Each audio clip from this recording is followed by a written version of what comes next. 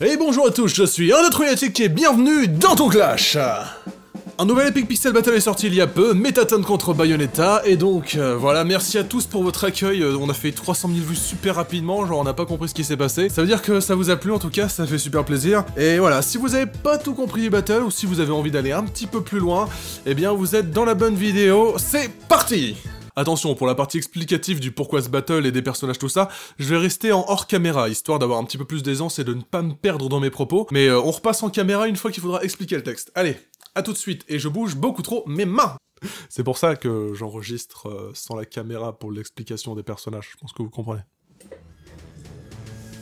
Nouveau compositeur Et oui, après un casting de plus de 40 personnes, c'est avec Standus que j'ai décidé de travailler pour le futur. Alors voilà, il y a eu plusieurs phases, euh, il y a eu plusieurs phases de test, et il a passé avec brio euh, chacune des phases. Bon, c'était pas un casting les plus professionnels qui soit, hein, euh, première fois que je caste autant de gens pour un truc aussi sérieux. Et voilà, tout de suite, ben, lui et moi, ça collé direct. J'ai un espèce de coup de foudre artistique, en fait, quand j'ai entendu les morceaux qu'il m'a proposés. c'est venu comme ça, et on s'est mis à travailler ensemble, du coup, et bah le résultat est là quoi. Sur Metaton Bayonetta, il m'a il m'a vraiment impressionné et je, vois énormément de vos retours qui sont aussi positifs et ça ça me fait super plaisir que vous l'ayez soutenu euh, pour son premier battle. En plus, bah voilà, dernièrement on a été à la Madinasia et ça a été l'occasion pour nous de se rencontrer. Euh, voici une magnifique photo de de Sanseiya, Stan et moi-même. Euh, lorsqu'il était encore à la maison. Et voilà, on s'est super bien entendu on a vraiment hâte de vous montrer la suite. Donc voilà, il a du talent et je vous remercie de l'avoir accueilli aussi bien. Sur ce, pourquoi ce battle? Alors à la base, ce battle était censé être celui de la Saint-Valentin. J'avais demandé sur Facebook un affrontement de circonstances, et, je n'ai pas choisi parmi les propositions les plus populaires, euh, mais plutôt la proposition qui nous a tous inspirés dans l'équipe. Pourtant ce battle était un énorme risque pour moi, Bayonetta n'est pas si populaire que ça, et Undertale a été le jeu indé vachement hypé de l'année dernière, avec une communauté toujours super active, et si le rapport entre les deux ne saute pas forcément aux yeux, bah ce sont bien deux personnages très glamour, dans l'extravagance, qui adorent danser avec un certain côté fétichiste. Métatom sur les jambes par exemple. Ça ne va pas beaucoup plus loin, je vous l'accorde, et c'était un risque supplémentaire dans le battle. Mais avec deux personnages comme ces deux-là, le battle de Saint-Valentin, un petit peu labour, on va pas se mentir, ne pouvait qu'être glamour et violent à la fois, parfait pour un épique pixel battle.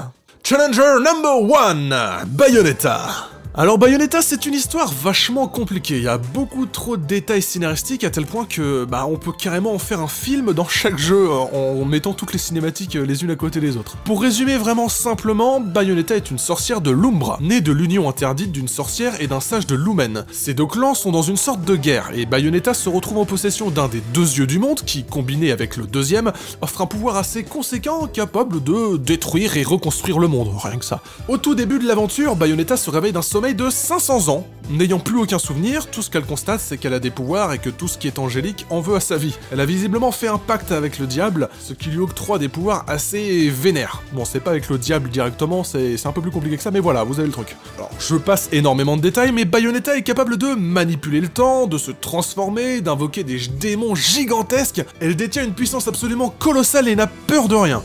Détail mais pas des moindres, la plupart de ses pouvoirs sont liés à ses cheveux. Sa combinaison entière est faite de ses cheveux, ce sont ces mêmes cheveux qui permettent de maîtriser les démons qu'elle invoque. Un tempérament de feu, provocatrice à la mort tout en étant sexy à outrance, une femme plus que fatale interprétée par Seiya. Vous aurez noté son changement de coiffure d'une partie à l'autre. Dans Bayonetta 1, elle a les cheveux longs et dans le 2, ils sont courts. On a juste voulu la faire évoluer graphiquement, tout comme Metaton. Mais en soi, ça reste la même personne. Et au moins, bah, les fans de chacune des coiffures auront eu leur compte. Challenger number 2, Metaton un personnage d'Undertale, ouais Ça vous a tous surpris, hein? En tout cas, je vous présente Metaton. Création du Dr Alphys, annoncé comme un robot tueur redoutable, il doit tuer le protagoniste principal de Undertale afin d'offrir son âme au roi des profondeurs. Ou souterrain, enfin c'est underground en anglais. C'est aussi apparemment une star dans l'underground. Il y tient diverses émissions télévisées. Lors de l'affrontement final, du moins en route pacifique ou neutre, on apprend que ce n'est juste qu'une couverture, une mise en scène. Il ne veut aucun mal aux humains. Mieux encore, plutôt qu'être la star de l'underground, il vise à en sortir et devenir une star chez les humains également. Mais pour cela, il doit quand même mettre à l'épreuve le protagoniste principal du jeu, lors d'un ultime show télévisé sous sa forme Metaton X. Concernant sa voix, il a été beaucoup plus difficile de la construire étant donné que tout ce qu'on a de lui est un Oh yes Il m'a fallu pendant des jours et des jours m'imprégner du personnage, de sa personnalité glamour, fabulous, tout en essayant d'en faire une voix proche de l'intonation du Oh. Nous avons donc pris le parti de lui donner une voix entre le viril et le fabulous. À sa première forme, on ne peut pas l'imaginer si fab.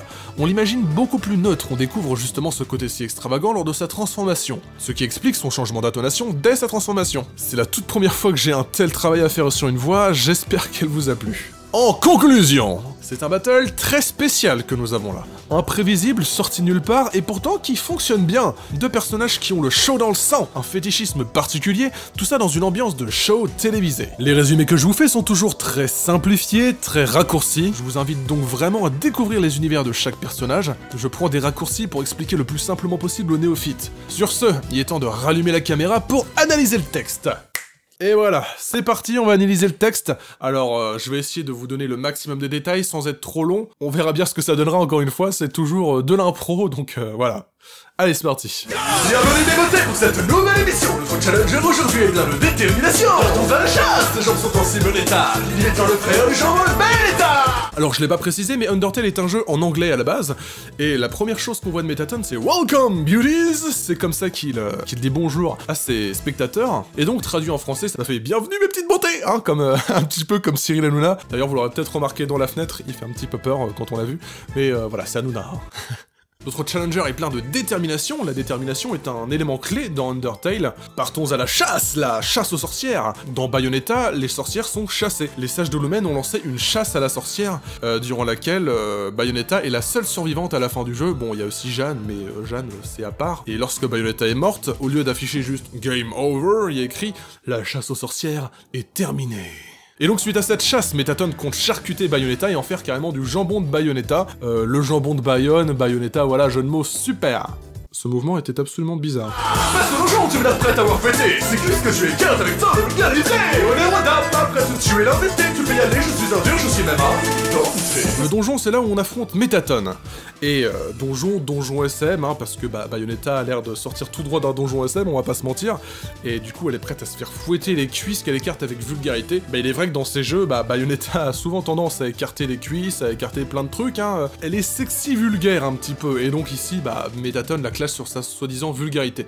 D'ailleurs, vous le voyez peut-être sur l'écran de Metaton, on voit une image du jeu. Bon, hein, voilà. On a évité la HD pour le coup, hein. Veut pas de problème, veut pas de problème. Ensuite, il fait preuve de fausse galanterie, hein, comme s'il n'avait encore rien dit alors que c'est faux. Et pour dire que voilà, c'est un gros dur, Metaton, euh, dans le jeu, on dit que son métal est super dur, que rien ne peut passer au travers, doublé d'un jeu de mots avec euh, je suis même al Dante, Dante qui vient du jeu Devil May Cry, un autre beat'em all duquel Bayonetta semble assez inspiré. D'ailleurs, dans Bayonetta, il y a certaines références à Devil May Cry. Et j'adore parler anglais parce que mon accent est certainement nul à chier. C'est sûr qu'un fils ne va pas te suffire, je viens en pacifisme. Je par un gosse, de spectatrice. À combien s'élève ta tristesse sur ta calculatrice Donc là déjà on commence sur un fist, ça commence bien, hein, on commence dans le sale, merci beaucoup. Mais euh, c'est pas fait pour rien, le fist euh, c'est le coup de poing finalement, hein. Euh, un gros coup de poing ne va pas te suffire. Et pourquoi un seul coup de poing? Parce que bah elle compte faire durer le plaisir dans ce battle et donc y aller mollo, y aller en pacifiste parce que dans la route génocidaire de Undertale, Metaton meurt en un coup, littéralement. hein. Il, est, il est sous sa forme néo, dont on parlera plus tard. Il meurt en un coup et là du coup Bayonetta euh, lance un petit pic dessus en mode ok on va y aller mollo histoire de faire durer le combat. Et effectivement, Metaton se fait un peu humilier par un gosse lors de son combat final et du coup oui, il pourrait euh, avoir de quoi être triste et bon bah on va pas se cacher que Metaton ressemble à une calculatrice, hein voilà. Voilà, on arrive à faire des vannes sur le physique d'un robot, bah c'est possible. Je suis encore plus canon que les planks sur mes talons. N'importe quel démon, j'en fais mon étalon. Tu veux t'adresser à une femme? Demande à ta mère. Si je m'abaisse dans ton habit, c'est pour te claquer le derrière. Alors visuellement, je sais pas si vous l'avez remarqué, mais sur le et talon, on voit un gros talon qui donne un coup de pied sur la transition. Voilà, j'aime bien faire des transitions sympas comme ça. Bon, sinon revenons sur le texte. Euh, au début, beaucoup de rimes et de valorisation de soi. Effectivement, comme on l'a dit tout à l'heure, Bayonetta maîtrise des démons et Demande à ta mère est une réplique assez culte traduite de Bayonetta. C'est un ton vachement condescendant quand même. Ouais, demande à ta mère euh, comment parler une femme. Et puis aussi, il est vrai qu'elle a tendance à claquer le boule de ses adversaires de temps en temps, en espèce de taunt, hein, en provocation. Et du coup, c'est un petit peu référencé avec ce qui se passe euh, dans le combat contre Metaton dans Undertale, parce que Metaton, derrière lui, sous forme robot, a un bouton sur lequel il ne faut absolument pas appuyer, sinon ça le transforme en Metaton EX, comme on va le voir tout de suite. Oh chérie, tu n'aurais pas dû. La transition de transformation en Metaton EX, je pense que vous l'avez vu, est carrément euh, quasi identique à celle dans Undertale. Bon, un petit peu moins pixelisé finalement, mais voilà, c'est exactement le- la même mise en scène. Tu l'as c'est un seul moment, un chalou à la lumière, c'est mon élément. Tu peux ne m'attendre jamais, je peux la jouer les hauts. Pas beaucoup plus de méchants que le décheville les hauts. You're gonna have a bad time, comme dirait Sense, qu'on voit d'ailleurs en fond. Hein, voilà, tout simplement. Bah, c'est une référence tout simplement à une grosse citation de Undertale, un truc que tout le monde connaît maintenant aujourd'hui. Je pense que vous l'avez tous au moins entendu, vu un mème ou quoi que ce soit sur internet, hein, avec euh, le fandom d'Undertale qui est partout. Marche à l'umbra, marche à l'ombre. Bon, l'umbra, on a vu ce que c'était tout à l'heure. Et la lumière, c'est mon élément. Bah, la lumière, les spotlights. Hein. Euh, Là, il dit voilà, reste au derrière de la scène, dans l'ombre. C'est moi la star. Euh, voilà, c'est assez simple à comprendre finalement. Voilà. Hein Tes balles le m'atteindront jamais, je peux la jouer Néo. Néo dans Matrix Ah Ah Voilà, super référence.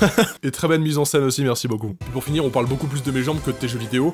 Bah il est vrai que le fandom d'Undertale est absolument ouf Il est partout, il en parle tout le temps. J'ai que des propositions sens contre NES. Voilà, au bout d'un moment. Tandis que Bayonetta, bah c'est vrai que son fandom est un petit peu euh, plus réservé, il parle pas beaucoup, il est, euh, il est calme. Même si m'est avis qu'avec la Switch et Bayonetta 3, ça va bientôt changer. Je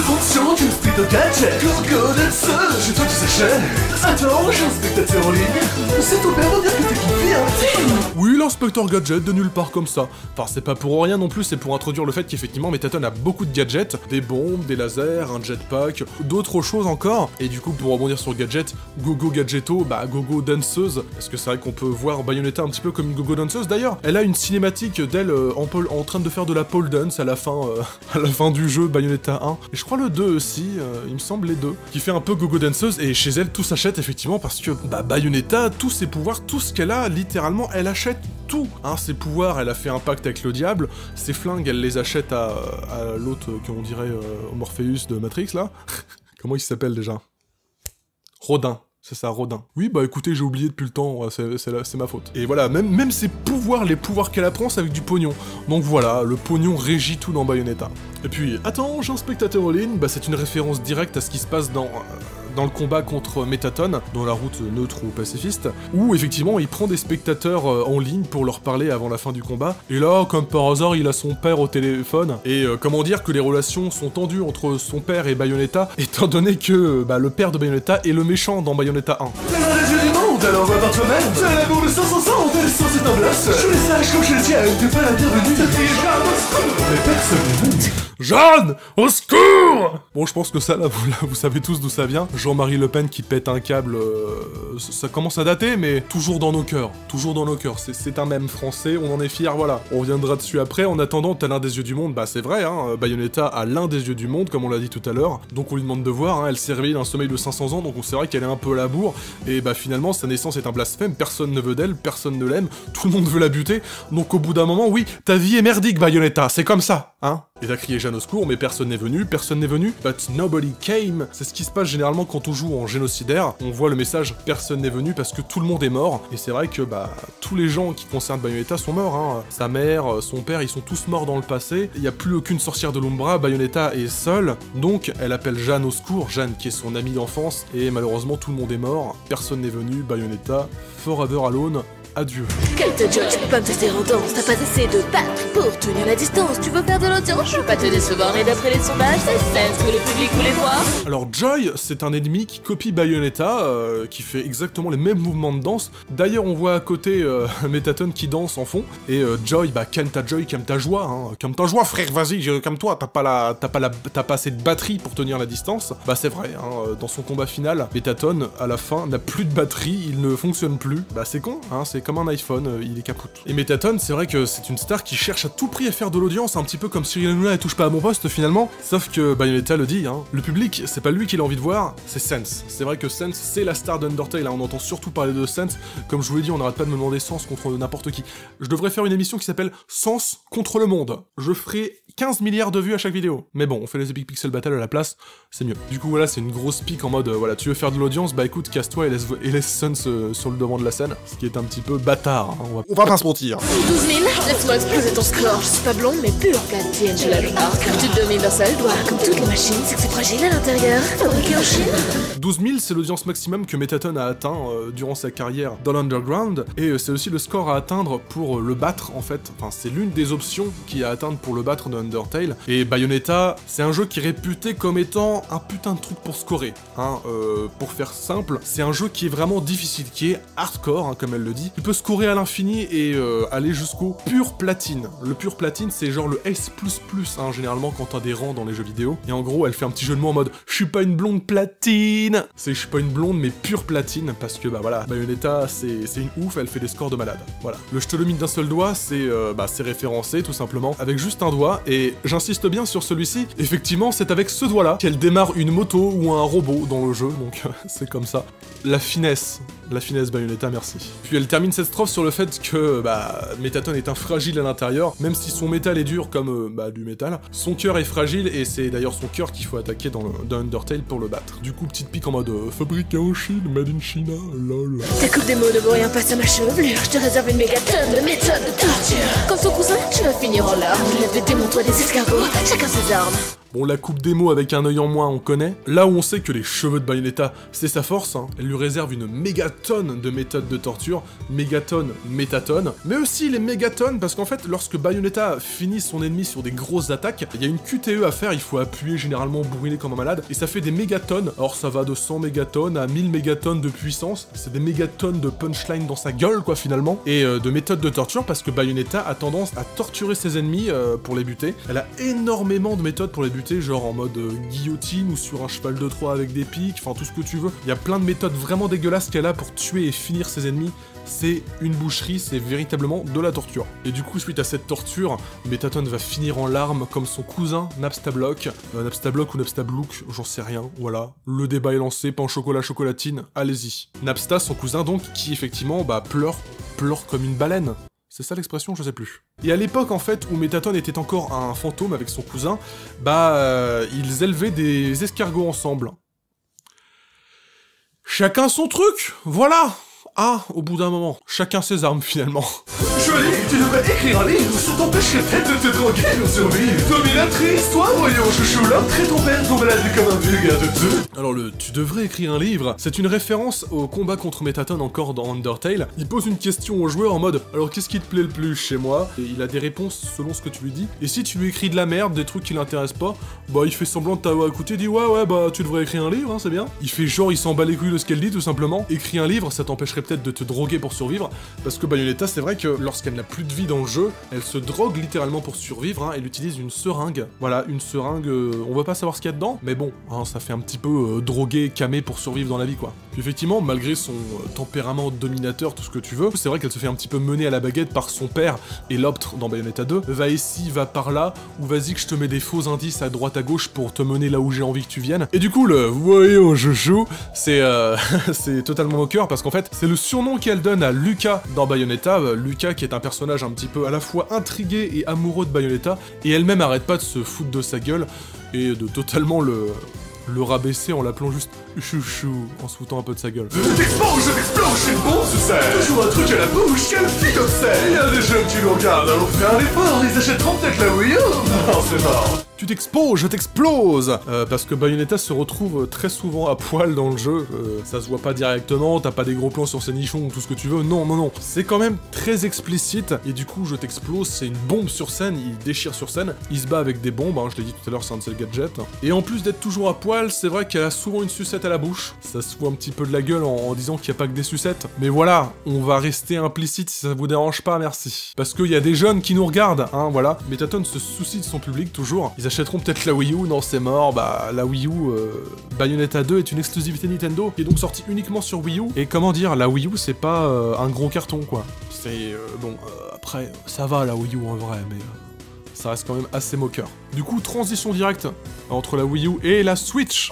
Qui t'a switché pour Nintendo mais c'est du cœur cosplay ridicule de la meuf Mario Maker L'émission vous à volonté, voir 16, mais c'est pour moi qu'ils vont voter Et oui, maintenant qu'elle est exclusive à Nintendo, elle va se retrouver sur Switch, Bayonetta. Et donc, quitte à switcher, à changer pour être avec Nintendo, bah autant qu'elle y mette du cœur. Parce que, je sais pas, ça là.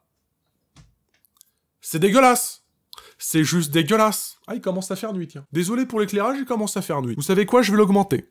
Voilà, on dirait plus qu'il fait nuit. Super. Du coup, j'en étais où déjà? Ah oui, elle est dégueulasse, euh, Bayonetta cosplayée en Peach. On peut vraiment jouer comme ça Et je sais pas ce qui lui aurait passé par la tête. Autant en Samus, autant en Link, c'est cool, c'est sympa. Bon, en Fox, c'est un peu chelou. En Peach, non. Je veux dire, j'aime beaucoup Peach. Faites pas ça, s'il vous plaît. Et donc, euh, ton cosplay de, la meuf à Mario Maker. Mario Maker, petit jeu de mots, super, merci, j'adore la vie. Et voilà, pour rester RP, Metaton finit en mode voilà, c'est la fin de l'émission. Mais vous peut-être voir Sense, mais c'est pour moi qu'ils vont voter. Faut dire que Metaton a aussi un sacré ego, il aime beaucoup se glorifier et qu'on parle de lui. Donc euh, ça lui va très bien de terminer comme ça. Il a attention parce que ça va aller vite. Enchanté de t'avoir connu maintenant, je passe à la tâche, laisse des combos, on continue, te piétine, te mets des claques de mes et pas besoin de sortir ma team démoniaque, on ne joue pas mégalomania pour un mégalomaniaque Enchanté de t'avoir connu, enchanté, Merlin l'Enchanteur, voilà, c'est une référence à Merlin l'Enchanteur. Pas du tout. C'est référence à l'enchantement, le Witch Time de Bayonetta. Lorsqu'elle esquive un coup au dernier moment, elle bloque le temps et ça fait un espèce de bullet time assez impressionnant dans lequel on peut enchaîner son ennemi super violemment.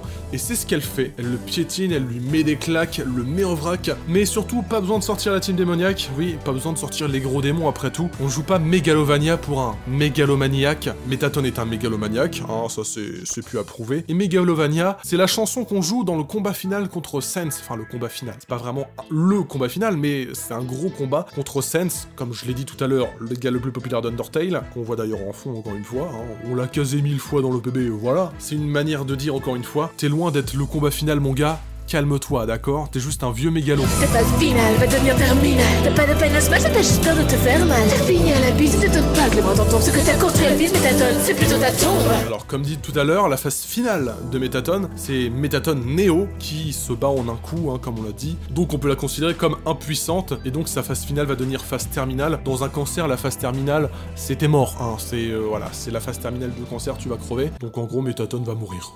Voilà. Metaton va mourir, non Calmez-vous, c'est un rabattle, d'accord? Du coup, comme il est inactif, t'as pas de finals match, voilà, petite référence en mode « Hey coucou, moi je suis dans Smash Bros, pas toi, ferme ta gueule !» Bon, en même temps, Metaton dans Smash Bros, ça aurait aucun sens, je veux dire, euh, peut-être Suns encore? Allez, Suns dans Smash Bros, faites une pétition, ouais ils vont le faire en plus, ils vont le faire, je le sais qu'ils vont le faire. Du coup, on continue à l'insulter sur sa phase finale, hein, t'es fini à la pisse, et ne t'étonne pas que les bras t'en tombent, effectivement, euh, dans son combat en route pacifiste ou neutre, si on le tape suffisamment, il perd ses bras le métatone, comme euh, ce que vous voyez là, hein, tout finalement.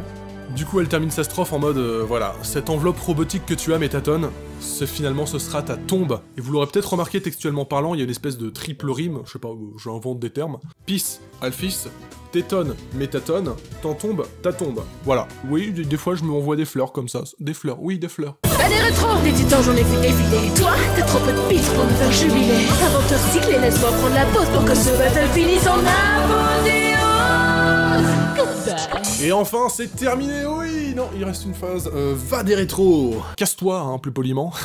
On garde ça de côté. Des titans, j'en ai vu défiler, effectivement, Bayonetta se bat contre des titans, des trucs extraordinaires. Ces combats finaux, c'est un truc de malade, hein. Je sais pas combien de kilomètres ferait le boss final de Bayonetta 1, par exemple. Jubileus, tiens, Jubileus, on le remet de côté aussi. Et, euh... T'as trop peu de bits pour me faire jubiler. Alors, on reprend Va des rétros, et t'as trop peu de bits. Voilà, c'est bon, vous avez ça? Dans Va des rétros, il y a rétro. Dans trop peu de bits, il y a les bits. Alors attention, les bits, euh, BITS, s'il vous plaît, hein, c'est écrit. Effectivement, euh, là où Bayonetta est un jeu quand même graphiquement très joli, assez impressionnant, Undertale est un jeu voulu un peu rétro, même beaucoup rétro, à tel point que du coup, t'as trop peu de bits. Allez, et on repasse à Jubilé, euh, Jubileus. Je, je prends des mots imaginaires, y a rien dans ma main, je suis malade. Donc il y a un gros jeu de mots, un petit peu salace, t'as trop peu de bits pour me faire jubiler, je pense que vous comprenez. Mais Jubilé, c'est pas là par hasard, comme je l'ai dit tout à l'heure, Jubileus, c'est le boss final de Bayonetta 1. Donc en gros, il y a 15 000 sens à t'as trop peu de bits pour me faire jubiler, hein, mais voilà. Et pour finir, avant de te recycler, laisse-moi prendre la pause. Bayonetta prend très souvent, voire toujours la pause en terminant ses ennemis, parce que se la péter, voilà, c'est son tempérament, elle est comme ça, elle est provocatrice, sexy, tout ce que tu veux. Et pour que ce battle finisse en apothéose... L'apothéose qui est le nom des attaques finales de Bayonetta. Lorsqu'elle bute un gros boss, elle le termine en apothéose en invoquant un énorme démon. Et l'apothéose, bah, c'est le meilleur moyen de terminer quoi que ce soit. Donc le meilleur moyen de terminer ce battle. Donc le battle est terminé sur une apothéose. C'est génial, tout le monde applaudit. Quelle belle émission, crie Métaton à la fin. hein. du coup voilà, c'était super, c'était cool. J'espère que ça vous a plu. J'espère que vous avez mieux compris le texte. J'espère que, voilà, maintenant que vous avez tout compris, vous avez vu le travail qu'il y a derrière quand même. Mine de rien, euh, c'est pas facile. Surtout qu'à la base, Metaton et Bayonetta étaient deux univers que je ne connaissais quasiment pas. Merci du coup à toute mon équipe. Merci à Stan pour la musique. Merci à Neko Zenneko pour les dessins. Merci à Saint Seiya pour la voix de Bayonetta. Et du coup aussi gros big up à mon équipe, car c'est grâce à elle que j'ai pu me renseigner aussi bien sur Metaton et Bayonetta. Si j'avais dû faire tout ça tout seul, ça m'aurait pris 5 mois et demi. Merci du coup beaucoup à Gaspard, Antoine, Edouard, Julien, Saint Seiya, Matt Stalker, Neko Zneneko et j'en oublie peut-être pour leur aide euh, pour la documentation, leurs avis sur ce que j'écrivais. Certains ont aussi écrit des punchlines, notamment Gaspard. Des bisous à toi. Et voilà, merci à tous mes amis pour leur soutien constant car euh, j'en ai besoin. et euh, vous êtes les meilleurs. Big up. Également un putain de gros big up à la Medinasia qui nous a fait confiance cette année. Et ma foi, c'était vraiment super cool. Merci à tous ceux qui sont venus nous voir en concert, sur le stand. Également aussi des gros gros bisous à ceux qui sont venus directement nous soutenir à la convention. Par exemple en achetant nos cartes ou alors euh, en nous faisant des dessins, en nous faisant des, euh, des petits fanarts, en nous offrant des mochis, des bières, du chocolat. Et même ceux qui sont venus tout simplement pour euh, discuter, passer le bonjour. C'était super, tout le monde a été vraiment super cool. Un gros merci à vous et n'hésitez pas, euh, ceux qui n'ont pas pu venir à celle-ci, à venir à d'autres conventions. Voilà, on vous tiendra au courant sur la page Facebook, sur Twitter. Et euh, on fera peut-être même des annonces vidéo sur cette chaîne, donc abonnez-vous. Voilà, c'était vraiment un gros plaisir. Des énormes bisous également à No Time, No Tune, euh, le groupe de Utaite, euh, qui nous a vraiment beaucoup soutenus et avec qui on s'est vraiment bien amusé pendant tout le séjour. Euh, sur ce, j'ai plus grand chose à dire. Quand même, un gros gros big up encore une fois. C'est le deuxième épisode de la saison 3 et déjà en deux épisodes, je crois qu'on tape dans le million de vues au total. Vous êtes des malades et euh, bah merci beaucoup, vraiment. 300 000 vues en quoi? En une semaine ou deux semaines, je sais plus. Ça fait vraiment super plaisir, ça motive et voilà, même si on fait pas un battle par mois, même si ça nous prend parfois un peu plus de temps, bah on fait de notre mieux pour vous faire le truc le plus ouf du monde. Et même si c'est moi que vous voyez là actuellement à la caméra, même si je suis le créateur du concept, il y a plein de gens derrière moi, donc voilà, je vous invite vraiment à, à les soutenir aussi, à les, suivre. Bah sans eux, je serais pas là où j'en suis. Donc voilà, c'est ça fait plaisir. Donc voilà, maintenant que j'ai envie de chialer, je pense qu'on peut terminer. Sur ce, je vous laisse avec, comme d'habitude, la démo dégueulasse. Cette démo dégueulasse qui n'est pas si dégueulasse que ça. Euh, je l'avais enregistré, j'étais plein d'entrain au moment de l'enregistrer, j'avais vraiment envie de la foutre en bonne qualité. Donc voilà, j'ai fait un, métatone, euh, bon, le métatone est pas ouf.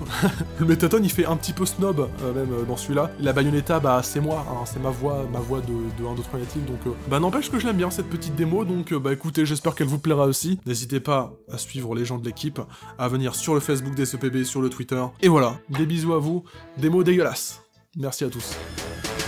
Et bienvenue mes beautés pour cette nouvelle émission. Notre challenge aujourd'hui est plein de détermination. Partons à la chasse. Les jambes sont en si bel état. Il est temps de faire des jambes de Bayonetta. Euh, passons aux jambes. Tu me l'as prêt à avoir fouetté ses cuisses que tu l'écartes avec tant de vulgarité. Et dame.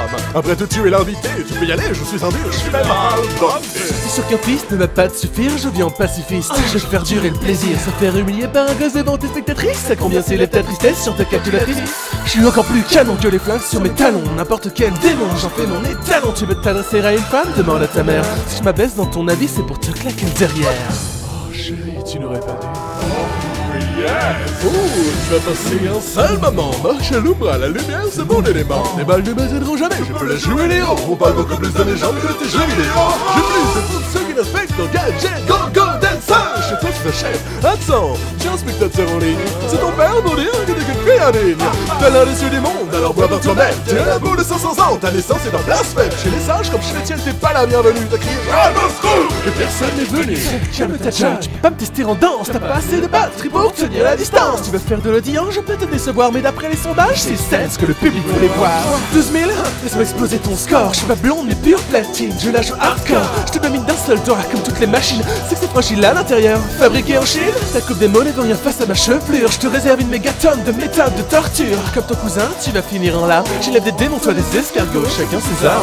Joli, tu devrais écrire un livre, ça t'empêcherait peut-être de te droguer pour survivre. Domine histoire, voyons chouchou, après ton père tombe à la tête comme un vulgaire de peu. Je t'explose, je t'explose, je suis une bombe sur scène. Toujours un truc à la bouche, quelle fille obscène. Y a des jeunes qui nous regardent, alors fais un effort, ils achèteront peut-être la Wii U. Non, c'est mort. T'as switché pour Nintendo Magica, t'as plus plus ridicule de la meuf en Mario Maker. Émission de chasse à fin, une dernière volonté, vous voulez peut-être faire sexe, mais c'est pour moi qu'ils vont voter. Enchanté de t'avoir connu, maintenant je passe à la nage, pas des combos, on continue de piétine, te mets des claques, te mets en vrac, et pas besoin de sortir ma team démoniaque, on joue pas mégalovania pour un mégalomaniaque. Ta phase finale va devenir terminale, t'as pas de final smash, t'as juste peur de te faire mal. T'es fini à la piste, ne t'étonne pas que les bras t'en tombent, parce que t'as construit un fils, mais t'atteins c'est plutôt ta tombe Pas des rétros, les titans, je les fais défiler, toi t'as trop peu de bite pour me faire jubiler, avant que j'explose, laisse-moi prendre la pause, ce battle finit, on apothéose J'ai terminé sur merci à tous. Je sais pas ce que vous en pensez. Est-ce que merci à tous c'est bien finalement comme façon de terminer Je ne sais pas. Ah ouais ouais ouais ouais ouais ouais Allez. Des bisous.